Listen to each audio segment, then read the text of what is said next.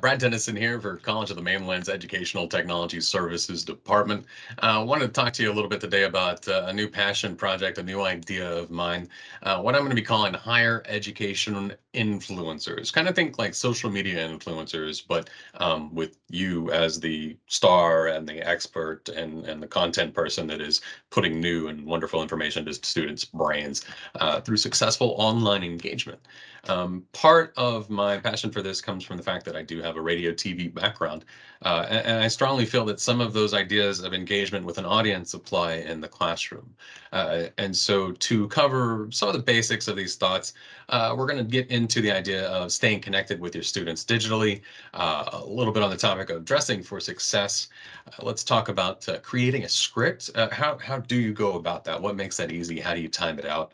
Uh, and then once you have a script and you've got a video recorded, ready to go, what do you do with it? So uh, we'll talk about uh, getting started with video. Uh, and uh, yeah, thanks for joining.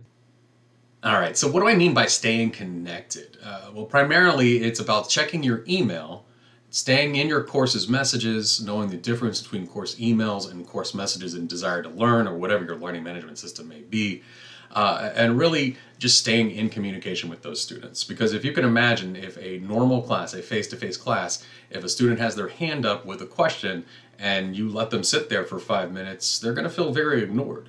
We'll turn that into an email. If you take longer than 24 hours to respond to an email, then something's wrong and that student is going to feel that way. Uh, so make sure you're checking your email on a daily basis, if not multiple times a day. Um, when it comes to the learning management system, and so here at College of the Mainland for Desire to Learn in the fall, um, there are two things to watch for. There are course emails and there are course messages. All right, and they are two very different things. They, they interact with the system differently and they communicate to the student differently. Uh, one stays entirely in the LMS, and uh, well, the other one works through a combination of the LMS and our Outlook email system. Uh, and so basically for me, and I'm not saying this works for everybody, but when it comes to staying connected, I treat emails a lot like a text message, uh, except emails can be flagged for importance and saved for the next day. Um, and so you've got to find a way that works for you to stay on top of your email, to stay connected with your students. Okay, so what about dressing for success? Well, uh, it just means looking good on camera, right? I, I, it's a wonderful time right now because the younger generations have basically made it. You can wear whatever makes you happy as long as it looks good and clean. Uh, I'm not saying that everybody can pull off the new 80s mom jeans plus a mullet look, but they exist. So just make sure you look sharp on camera and that your environment behind you looks good as well. And don't be afraid to use where you're filming as a way to give some expression of your personality uh, to your students. You want to connect with them in a human way, and what better thing to do than show them some of your interests and likes.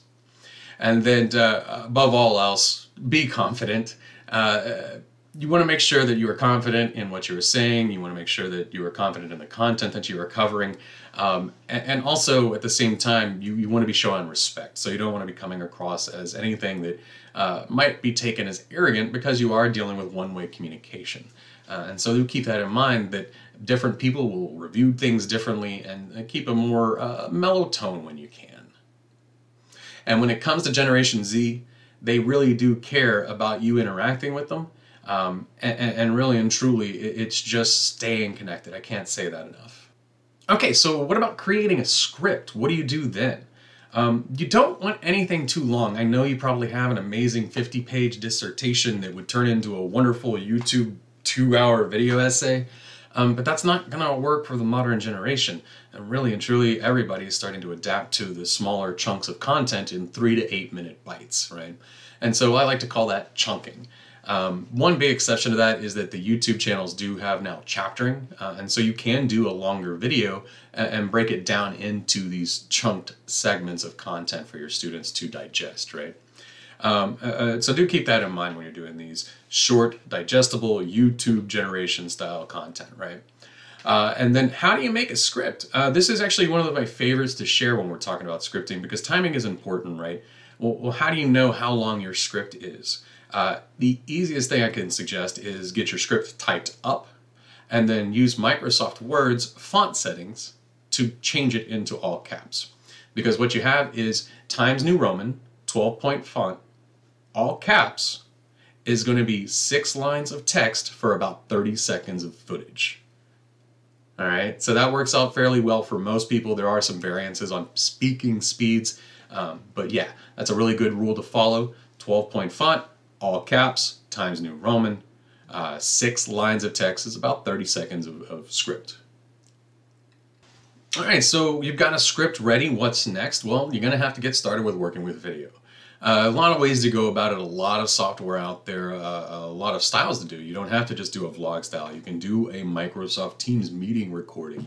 Um, you can do a screen recording using Microsoft Stream through your College of the Mainland accounts, right? Uh, YouTube even offers up uh, live streaming that can be recorded and shared later. Uh, and then if you want to get a little more fancy, if you want to get into video editing, you've got open source software like OpenShot.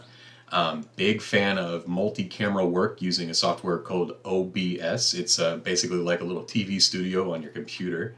Uh, and then as a College of the Mainland full-time faculty, uh, we do have access to Adobe Rush. I'm a big fan of this one. It used to be a mobile-only platform, uh, but they have added it with desktop operation, and it is geared at taking basic concepts from their fancier video editing platforms uh, and simplifying it for you uh, so that you can add camera and graphics and transitions and sound effects and music beds easily, and that's what's really nice about that one. Uh, but when it comes down to it, first and foremost, when you are making a video, uh, rule number one is if your audio is bad, your video is bad.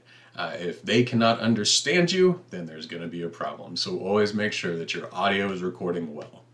And that is the basics of getting started with video. All right, well, again, Brad Dennison here for College of the Mainland's Educational Technology Services Department.